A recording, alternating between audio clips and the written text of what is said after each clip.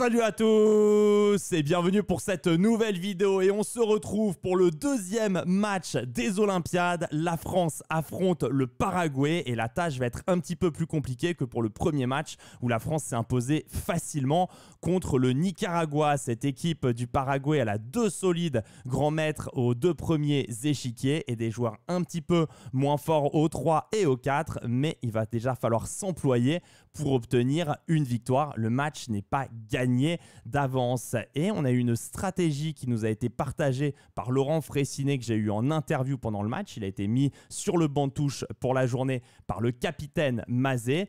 Et Sébastien Mazé et Marc-André Amaoritz, ils ont remarqué que le troisième échiquier paraguayen, et Fernando Cuba, c'était un joueur assez pleutre.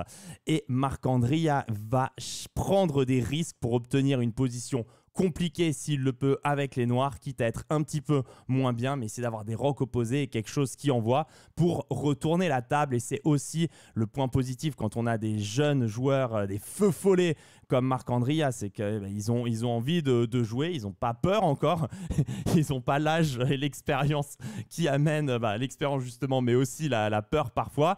Euh, mais il a envie d'aller d'aller chercher ses adversaires et de tenter de gagner, vu qu'il est plus fort. Euh, quitte, à, quitte à prendre des risques. Mais ça va être une partie très importante dans le match parce que devant, euh, ça va pas forcément super bien se passer. Maxime va se faire complètement sécher par son adversaire Bachmann qui a été classé euh, au-dessus de 2650. Donc c'était un joueur solide avec les Blancs. Il a fait une nulle très facile. Et Baki au 2 avec les Blancs, il va un petit peu souffrir, mais il va mettre les barbelés et tenir la nulle. Et donc les troisième et quatrième échiquiers de Marc-André Amaurizi et Maxime Lagrave vont être prédominants. Donc ça, c'est ce qu'on va suivre en premier. Ensuite, on ira voir Levon Aronian euh, qui va jouer contre Wong. Euh, une partie qui va être complètement folle. J'espère que vous allez kiffer. Puis on ira voir Eric Gaizy, on va voir les équipes favorites pour l'Inde contre Stephenson. Et ce sera un système de Londres euh, qui m'a bien, bien fait kiffer. Et euh, en dernier, on ira prendre des nouvelles de Ding qui fait son entrée dans la compétition contre Enriquez Villagra. Et je vous annonce de très très grosses turbulences dans la partie Aronian contre Wong. Ça va swinger, elle est vraiment magnifique cette partie et très sympa à, regarder. Allez, on va voir notre équipe de France pour commencer. Euh, l'adversaire de Koubas, donc euh, qui joue E4, C5 pour Marc-Andria, cavalier F3, cavalier C6, D4, sicilienne ouverte. Ça aurait pu être une Rossolimo, mais sicilienne ouverte, on aurait pu se dire un peu pleutre, mais non. Il joue la sicilienne ouverte, puis on prend des 4, cavalier prend des 4, cavalier F6, cavalier C3, E6 et c'est en quelque sorte une invitation à transposer, euh, c'est une bonne ouverture et c'est une invitation à transposer potentiellement dans une Sveshnikov après cavalier DB5 qui est joué et D6, le coup plus classique. Et les, parties peuvent continuer par fou F4, met la pression sur le pion, E5 et fou G5. Et par euh, une euh, perte de temps euh, commune, on transpose dans une Sveshnikov. C'est pas ce qui va se passer dans la partie parce qu'après cavalier DB5, les noirs vont jouer Marc-André Amaurizi, la variante Cobra. J'aime bien le nom. J'aime bien le nom. Variante Cobra. Euh, ouais, non, mais Anaconda, Cobra. Euh, ouais, bon, ok. Voilà, on va pas aller plus loin. J'arrête là parce que sinon, la vidéo, on va parler d'autre chose en fait. Ça, ouais, on va pas, on va pas changer le sujet de, la vidéo. Mais Cobra, ça me plaît.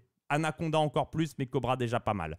Donc fou C5 et cette variante Cobra, vous allez voir qu'elle va nous mener dans des positions très compliquées puisque les noirs continuent par fou F4, donc il vient taper sur la case D6 et C7.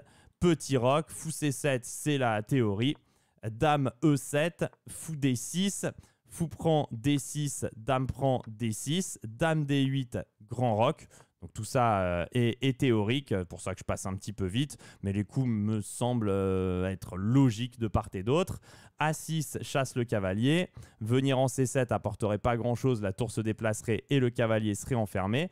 Et donc ici, cavalier D4. On va faire une première pause ici pour comprendre le coup des noirs. Alors là encore, hein, c'est la prépa. Euh, il va jouer cavalier E7, mais on va comprendre ce coup qui peut paraître bizarre au, de prime abord. Alors déjà, faut commencer. B5, on peut pas. Il y a cavalier prend C6. Ça, c'est simple. Joue sur le clouage. Ça, c'est ciao. Bon, évidemment, Marc-André va pas jouer ça. Euh, autre coup possible, du coup plus logique que, qui peut sembler que cavalier E7, ce serait cavalier prend D4 pour commencer mais la dame revient en D4. En vérité, elle va être mieux placée parce que quand on joue B5, E5, le cavalier il repart vers E8, H5 il va se faire enfermer, j'ai même pas regardé mais j'en suis convaincu. Donc il va repartir vers E8, sauf que la dame elle a gagné un temps gratuit en, en étant chassée attirée vers la case D4. On va pouvoir continuer par F4, fou D3 et attaquer à l'aile roi. L'attaque blanche va plus vite que l'attaque noire. Donc ça, c'est pas terrible. Et dernière tentative qu'on pourrait avoir après cavalier D4, ce serait euh, de euh, jouer cavalier E8 direct. Mais bon, on n'a pas attendu pour le E5. Et surtout, il y a cavalier prend C6 gagne un, enfin force B prend C6 et dame C5 et le pion D il se fait un peu paralyser on est, on est, on est un petit peu bloqué avec les noirs on peut pas le toucher parce qu'il y a le pion C6 en l'air tout cela pour expliquer le coup cavalier E7 qui pourrait paraître bizarre, alors qui est théorique, mais j'avais envie de l'expliquer parce que c'est un, coup pas très logique à première vue. Les blancs qui continuent par H4, donc on va commencer à mener l'attaque sur le roi noir, hein. ce sont des rocs opposés, donc on veut euh, bah, attaquer en premier tout simplement. Et les noirs qui continuent par B5, donc prépare l'arrivée du fou en B7, prépare potentiellement du B4 quand on pourra, et ben, termine le développement. Sur quoi? La variante de l'ordi, ce serait de jouer par exemple H5, une des variantes parce qu'il y a plein de possibilités, et sur cavalier E8, euh, de remettre la dame en H2, avec l'idée sur H6 de jouer pour G4, G5, et c'est un joli bordel. Mais l'adversaire de Marc-André, il va plus connaître ici après B5, il connaissait peut-être même plus au moment de H4. Il va jouer le coup cavalier B3. Et cavalier B3, c'est un coup pas très utile. On pourrait continuer par fou B7, F3 et continuer à se développer euh, normalement. Il pourrait même y avoir un coup H5 après intéressant pour essayer de bloquer le jeu. Mais cavalier B3, Marc-André va pas le réfuter. Il va jouer cavalier E8. Donc il va continuer dans le plan normal. Euh, sauf que cavalier E8, ça donne l'opportunité au blanc de reculer avec dame D2, ce qui justifierait en quelque sorte le coup cavalier B3. Et c'est compliqué, on peut continuer avec B4 ici pour les noirs, cavalier A4, et la position reste très complexe. Mais après ce cavalier B3, cavalier E8, qui n'est pas hyper précis des deux côtés, mais qui n'est pas forcément non plus euh, très mauvais, José Fernando Cubas, il va vouloir être malin, il va jouer dame B4.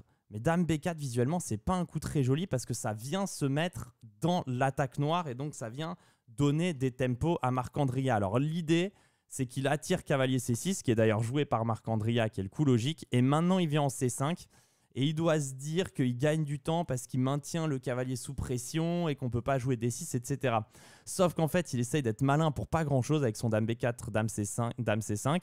Marc-Andrea, il joue Dame C7, bah, il se développe, il n'y a même pas de clouage, la Dame est protégée et ça nous donne du D6 à bon escient.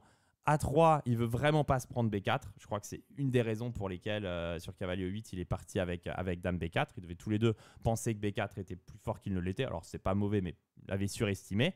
Maintenant D6, il gagne un temps sur la dame qui repart en E3. Donc on voit quand même qu'on a donné cavalier C6 gratuit et D6 gratuit en faisant tous ces mouvements de dame. Maintenant B4 quand même. A prend B4, cavalier prend B4 et en plus la, dame est probablement moins bien placée en, E3 qu'en D2 dans beaucoup de variantes parce qu'en D2, elle protège le pion C2 et donc le cavalier C3 ne serait pas cloué et, bloqué à, la défense du pion C2. Donc euh, Kubas qui continue par H5 maintenant pour jouer H6 et attaquer sur case noire. H6 de la part de Marc Andria. Et ici, les blancs vont jouer Dame D4. Et Dame D4, on sent que ça sent pas le bon coup. Il vient quand même de jouer euh, de la dame, elle vient de partir de D6 à B4 à C5 à E3 et il va la redéplacer en D4. Ça va faire 4 coups de dame pour faire un truc qu'on aurait pu faire en un coup dans une position à roc opposé où il faut pas perdre de temps. Ça respire pas la sérénité. Ici, il faudrait plutôt continuer avec G4, sur quoi on pourrait jouer E5 pour développer le fou et ça donne des variantes ultra compliquées où les deux joueurs euh, s'attaquent mutuellement et à la fin de la variante, il serait difficile de savoir qui est mieux. Mais dans la partie après H5, H6, donc il a joué Dame D4, il se redéplace avec la Dame. Marc-Andrea, son cavalier attaqué, il va simplement le défendre par A5 et il n'y a jamais cavalier B5 à cause de Dame prend C2 mat. Même assez facile. Donc après A5, son adversaire va jouer fou B5, donc il se développe et il bloque la poussée du pion en A4. Sauf que maintenant, Marc-André, il va jouer E5. Il regagne un temps sur cette dame qui n'arrête pas de bouger. Maintenant, elle revient en D2. Elle couvre le pion. Dame B6 renouvelle le blocage du, cavalier à la protection du fou. Donc le fou se décale en A4 et maintenant cavalier F6 redéploie euh, le cavalier euh, et, les noirs veulent juste jouer tour D8, défendre leur pion, euh, suivi de fou E6, tour C8 et D5 hein, pour prendre le centre et tout ouvrir. On sent là que les noirs commencent à être mieux. Il veut pas se prendre le D5 va être inéluctable, euh, coup basse. Donc il prend le pion en D6. C'est d'ailleurs le meilleur coup. Le pion est troqué contre le pion F2 et Marc-Andria menace maintenant Dame prend C2, mat directement. Il faut protéger sur Dame D2. Il y aurait Dame G3. Alors c'était cependant le meilleur coup. Mais on sent là que ça se passe pas trop bien pour les blancs qui, ont des problèmes avec leur structure de pion en vérité. Et ce fou qui arrive en G4, on sent que ça va. On sent qu'on va se prendre genre fou G4, attaque la tour, fou prend H5, bouffe le pion et fou G6 pour reprendre le pion E4. Par exemple, on sent que ça se passe pas très bien. Donc sur Dame prend F2, menace Dame C2 mat, il va jouer un coup logique, moins fort pour l'ordi, mais plus logique pour un humain. Il va jouer cavalier C5 pour utiliser son fou A4 pour défendre le pion C2. C'est plutôt ingénieux comme euh, manœuvre au final. Mais maintenant, Marc-Andrea va jouer fou G4, développe avec euh, gain de temps sur la tour. Tour DF1, contre-attaque la dame. Dame E3, échec au roi. Le roi doit partir en, en, B1. Et maintenant, tour A, C8, attaque le cavalier. Et Marc-André ici est complètement gagnant. Ce truc de cavalier C5 marchait pas du tout, mais la position était difficile. Il n'y a pas vraiment de bon coup ici. Il va jouer cavalier D3 le plus logique. Et, euh, si vous, voulez progresser et, et chercher, vous pouvez chercher le coup ici qui gagne pour euh, les noirs. Alors il y a plein de coups qui sont bons, hein. même tour FD8 serait très fort. Mais ici, il a joué un coup très thématique qui va terminer la partie sur le champ. C'est tour prend C3, le sacrifice de qualité pour venir prendre en E4 au prochain sur B prend C3. Je vous ai mis une petite variante. Aurait cavalier prend E4, attaque la dame, attaque le pion C3. Sur dame prend E5 pour tenter de tout défendre. Il y a cavalier prend D3, enlève la protection de la dame, suivi de cavalier D2, échec au roi, gagne la dame. Donc ça, c'est assez facile. Et sur euh, pion prend C3, cavalier prend E4, attaque la dame, dame C7 pour défendre autrement le pion C3, ben, on peut tout simplement euh, aller chercher la qualité en F1 et se retrouver de manière forcée dans cette position avec deux pions de plus, un meilleur roi et donc une position complètement écrasante. Dans la partie sur tour prend C3, euh, il a voulu jouer cavalier prend B4 intermédiaire. Marc-André a joué cavalier prend E4 quand même. Attaque la dame, dame à 6, cavalier D2 et abandon. Bon, le roi va bouger, on va prendre B4, on pourra prendre F1. Et on a une position complètement écrasante. Stratégie payante de l'équipe de France et du capitaine Mazé qui avait un plan et on va voir qu'au score, et le plan, il était vraiment ultra important puisqu'on gagne ce match sur la plus petite des marges, 2 points à 1 point. À noter tout de même que Maxime Lagarde avait une position très avantageuse, mais il a été professionnel et il a pris la nulle pour nous assurer la victoire dans ce match et on jouera euh, contre l'équipe de Monténégro au prochain euh, match. Allez, prochaine partie, euh, prochaine partie, on va regarder Levon Aronian avec les Blancs contre Wang Zhenyang Jaden. Il y a eu E4, EC5, cavalier F3, E6, D4, puis on prend D4, cavalier prend D4, cavalier C6, cavalier C3, Dame C7, fou E3, A6, tout ça est théorique, Dame D2, cavalier F6, grand roc fou E7. Et ici, le grand coup, c'est F3 pour préparer G4.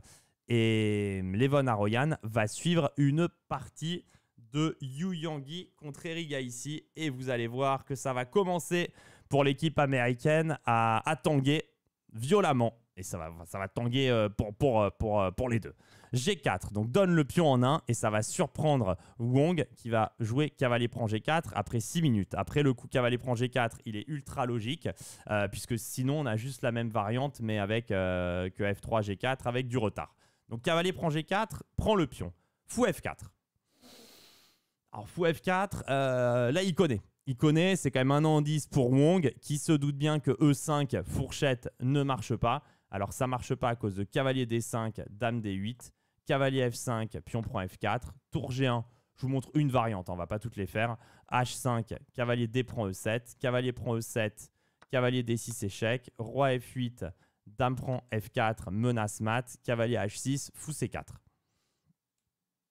Bon, avantage décisif au blanc, menace fou prend F7 et ça gagne. Très franchement, on aurait pu passer 20 euh, minutes de la vidéo à regarder sur E5, euh, cavalier D5, cavalier F5 et tout un tas de variantes pour vous prouver par A plus B que c'est toujours gagnant. On va pas le faire je pense qu'on s'en fiche. C'est tout. C'est sa prépa. L'ordi montre que c'est gagnant. Cavalier D5, cavalier F5, suivi de fou C4, ça fait mal. C'est gagnant dans toutes les lignes.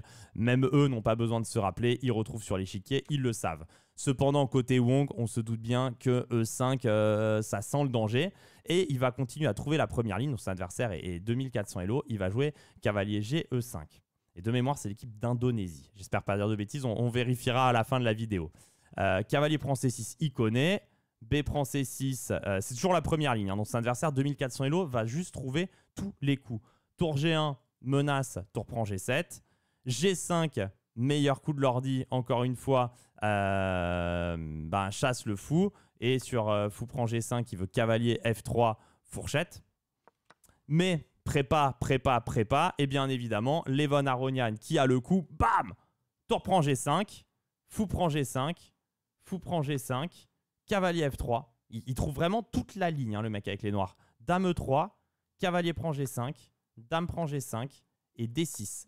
Et dites-vous là que Wong, 2397 Elo, ben, c'est pour dire à quel point les mecs sont sous-classés, vient de contrer une prépa de fou furieux de Levon Aronian en trouvant toute la première ligne. Ben, je ne sais pas si vous imaginez à quel point c'est dingue le niveau des joueurs, en fait, le, progrès qu'il y a eu, c'est un truc de dingue. Il y a vraiment des gens. Après, je sais que, dans ces régions du monde, parfois les joueurs sont un peu sous-classés, mais, euh, mais c'est un truc de fou. Il se prend une, prépa, bah, Levon lui joue tout tempo. Et, notre ami Wong, il vient, il vient simplement de, de, trouver quasiment à chaque fois le seul coup pour avoir une position jouable. Et c'est Levon qui va se tromper en premier, parce qu'ici, la première ligne, c'est Dame G3 pour provoquer E5 et faire F4 et, ouvrir la position. on va juste faire une pause du coup après F4 de Levon, qui n'est pas forcément une faute, pour tenter de comprendre la position. En fait, les noirs, ils ont une qualité nette de plus, mais euh, ils ont du mal à terminer leur développement. Le de case blanche, il est vraiment mauvais. Il a du mal à jouer. Il a des problèmes de case noire et on sent que si les blancs peuvent faire E5, cavalier E4 à un moment donné et rentrer sur les cases noires, ce sera fini. Et le roi n'a pas d'endroit où se mettre à l'abri. Euh, jouer fou B7, bah, ça menacera même pas grand rock immédiatement. Et on sent que le fou, il est, mal placé. Après, fou B7, clairement, c'est un coup candidat. Mais bon, fou E7, on peut peut-être faire E5, D5, cavalier A4, je sais pas, j'ai pas analysé à l'ordi, mais euh, ça, peut, ça peut être chaud avec des F5 qui arrivent. Et bon, c'est compliqué. Dans la partie sur F4, il va jouer Dame E7, qui est d'ailleurs pas du tout un mauvais coup, c'est même un bon coup. Euh, son idée sur Dame G7, c'est qu'il veut juste jouer tour F8 et vite euh, aller se cacher après. Levon qui joue Dame G1. Donc là encore très bien joué de la part de Levon. Il vient chercher la case B6. Roi F8 pour Wong. Il veut jouer tour G8 pour chasser la dame. Et E5 prise d'espace. Et, et s'ouvre la case E4. Et ici, Wong va faire une erreur relativement grave. Il va commencer par tour G8 et vous allez voir que ça, ça va être très grave. Il aurait fallu qu'il joue D5 avec une position euh, vraiment très compliquée. Euh, sur Dame B6, on peut jouer Roi G7, Dame G1 échec pour pas laisser la tour sortir et le roi aller en H8 et le roi revient en F8. Donc ça, ça ferait nul si on répète. Et donc les blancs peuvent continuer par cavalier A4, aller vers la case C5. Et c'est très compliqué. les blancs ont une qualité de moins, mais on voit que les noirs ont beaucoup de mal à faire jouer leur tour.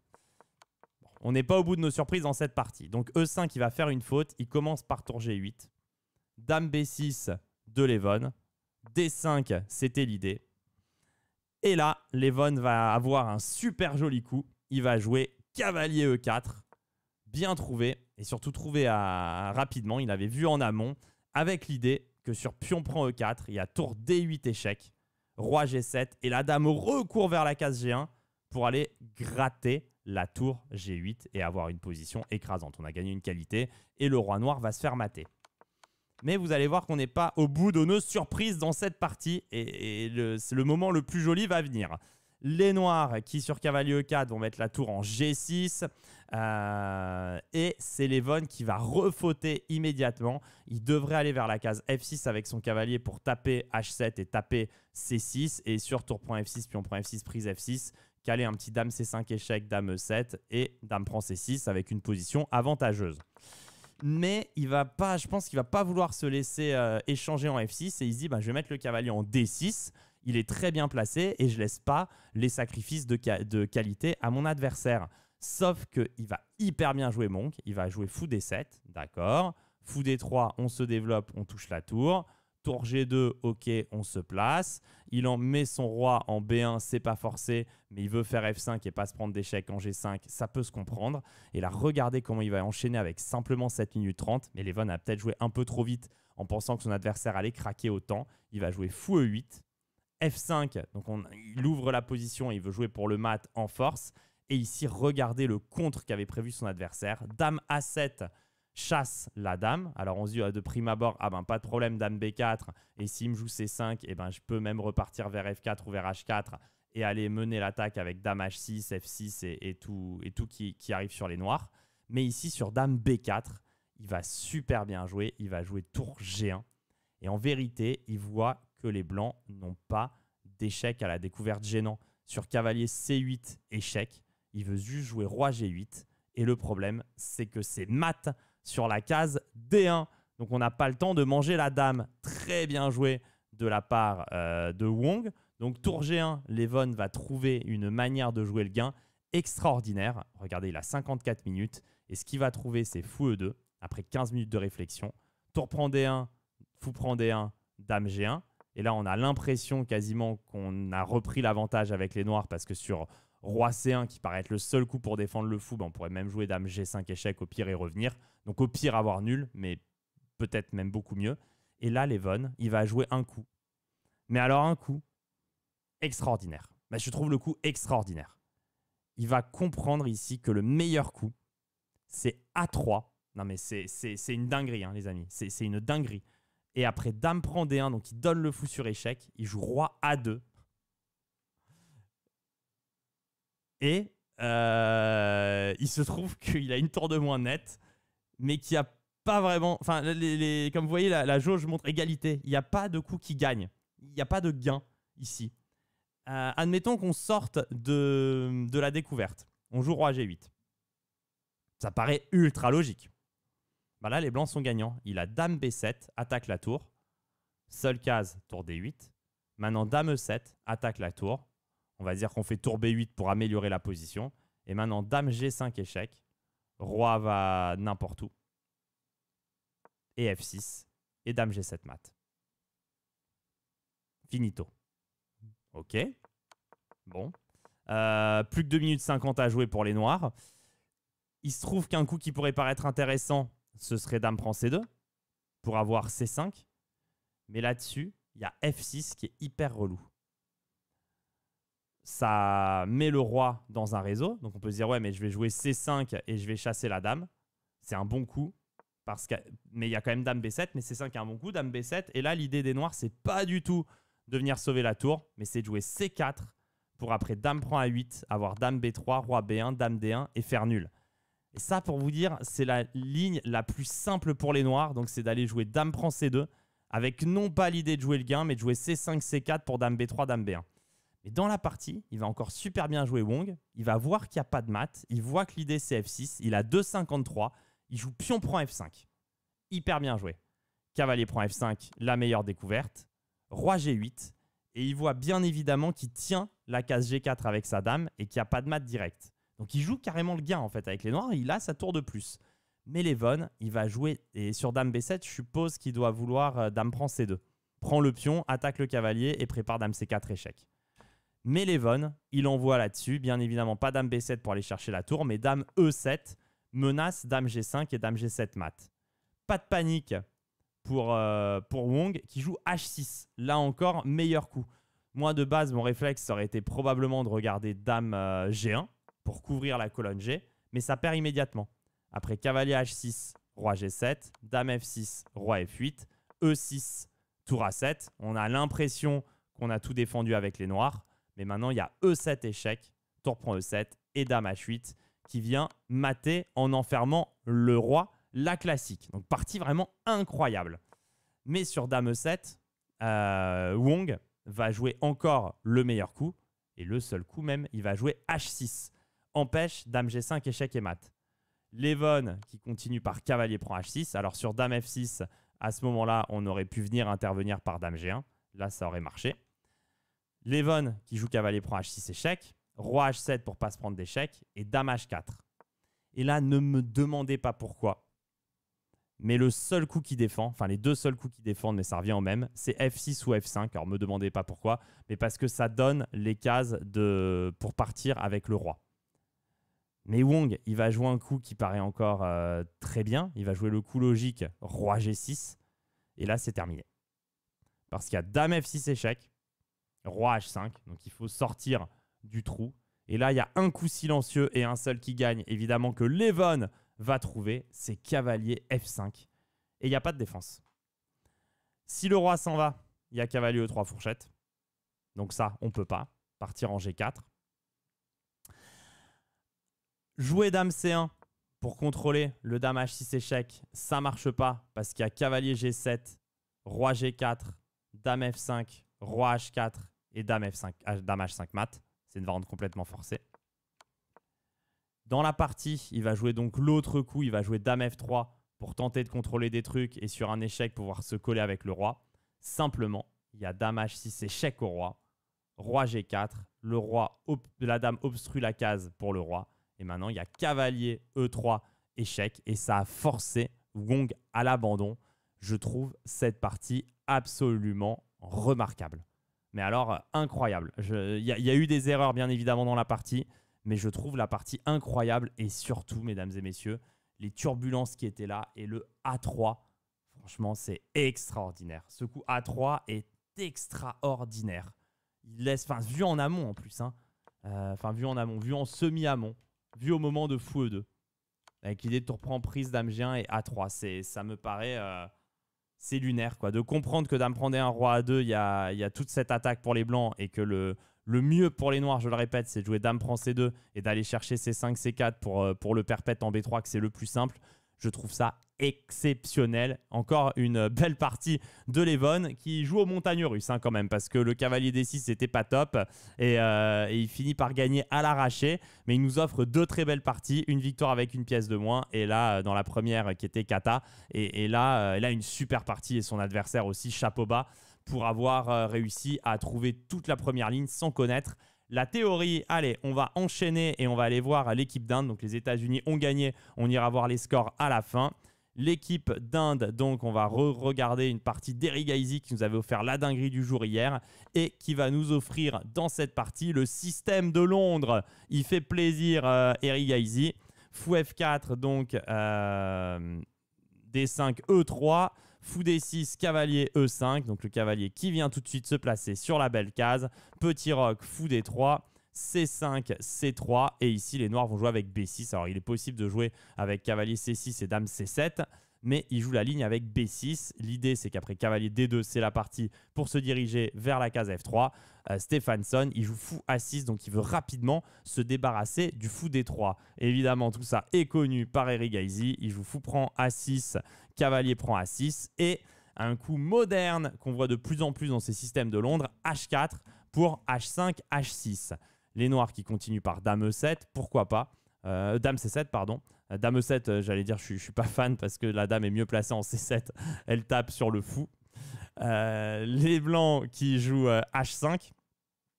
Donc, il, bah, il avance le pion pour aller vers H6. Et ici, Stephenson ne va pas jouer H6. Pourtant, H6, c'est le coup qu'on attendait, entre guillemets, pour arrêter l'avancée du, du, pion H, qui vient pour affaiblir les cases proches du roi. Mais sur H6, il était probablement inquiet de coups comme Dame E2, touche le cavalier, cavalier B8 et G4 pour jouer après avec Grand Roc, Tour G1 et G5. C'est vrai que ces systèmes de Londres sont très pénibles à jouer avec les noirs. Et dans la partie sur H5, il va jouer cavalier E4. Donc cavalier E4, il se place plein fer au centre de l'échiquier. Cavalier prend E4, pion prend E4 et dame G4. Donc Eric Gaizy qui joue l'attaque à 200%. C prend D4, E prend D4, tour à E8. Et ici, il va pas vouloir jouer H6, G6, qui pourtant est la manière logique de continuer. Et il va faire tour D1. Euh, il aurait dû hein, jouer pour, pour H6, G6. Et ici, euh, il y a un truc joli à vous montrer. Si les noirs jouent F6, c'est pour ça qu'il n'a pas joué H6, mais il aurait quand même dû le faire. En fait, l'idée des blancs, c'est de jouer cavalier G6. Ça lui permet sur fou F4 de rebondir avec le cavalier. Tour F7 serait le bon coup et il y aurait euh, égalité. Il, aurait enfin, c'est pas une bonne idée d'avoir fait ça. Tour F7 est le bon coup. Mais toute l'idée des blancs, c'est que sur HG, il y a, il y a fou prend D6, dame prend D6 et pion prend D6 et on peut rien faire contre la menace. Tour H8 échec, roi prend H8, dame H5 et dame H7 échec et mat. Euh, bon, du coup, il va y avoir une, tergiversation. Après tour D1, il va jouer cavalier C5. Les blancs qui continuent par dame G3, il aurait encore dû jouer à H6. Et ici, le bon coup pour les noirs, je vais vous le montrer parce qu'il est très joli.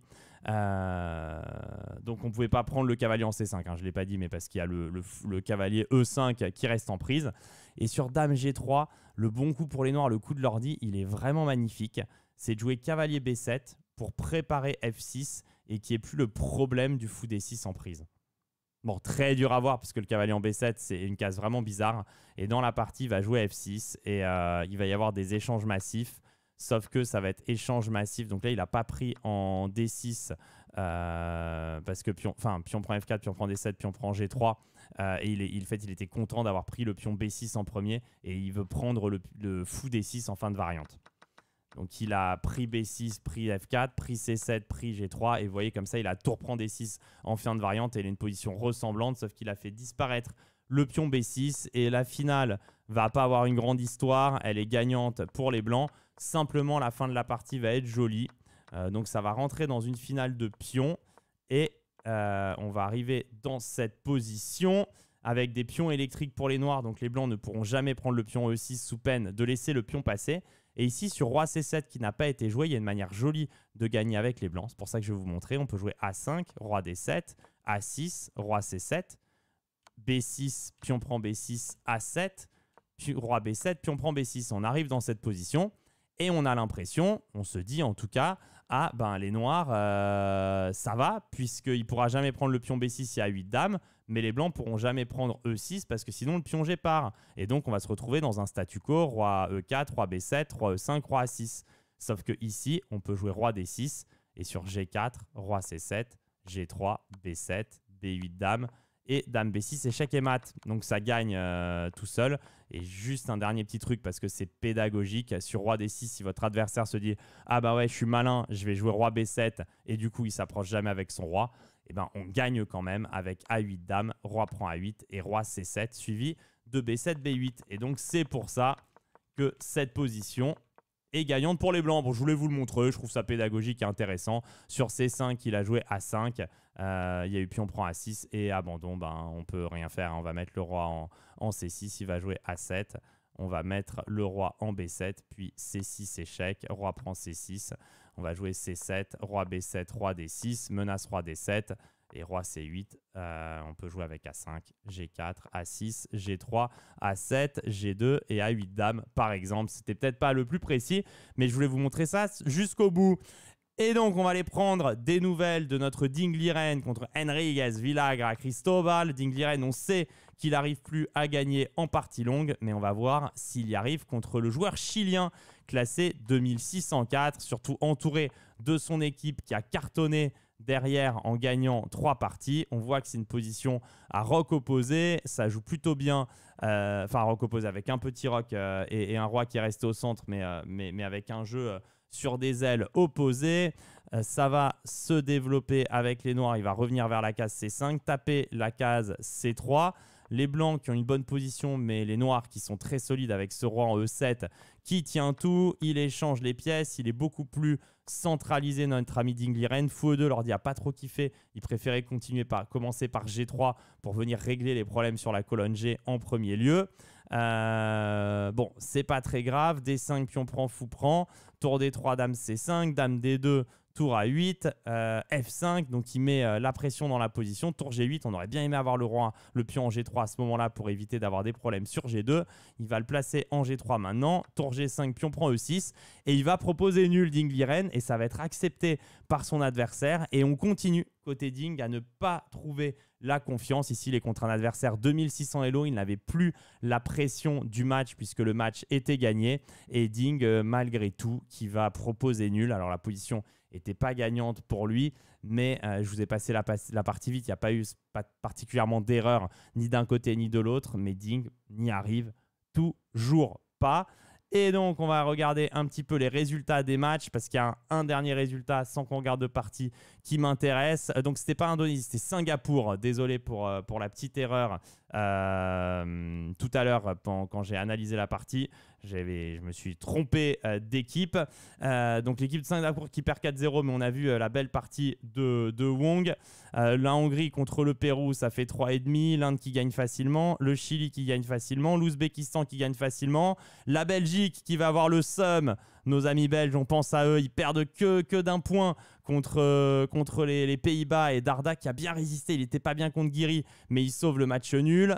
Euh, donc c'est dommage, ils ne sont pas passés loin finalement les Belges euh, et, on voit l'équipe de Norvège. C'est ce que je voulais vous montrer qui a laissé Magnus Carlsen sur la touche récupérer pour qu'il rentre en pleine forme et qui termine comme un boulet de canon la compétition. Et, euh, malheureusement, eh bien, la Norvège qui fait match nul contre le Canada de partout.